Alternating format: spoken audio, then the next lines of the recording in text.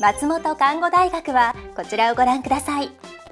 2021年4月に開学した松本看護大学は地域に開かれた大学として地域医療から学び地域医療を支える人材の育成を目的とした4年生大学です。学びの特徴は地域の特色に合った3つの看護学科目。救急災害看護学教育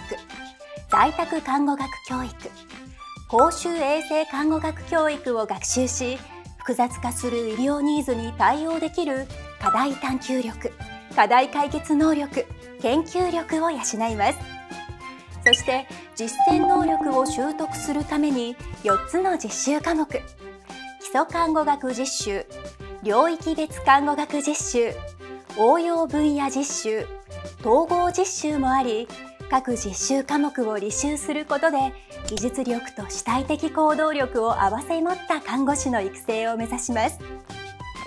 カリキュラムは専門性の高い科目から幅広く教養を育む科目。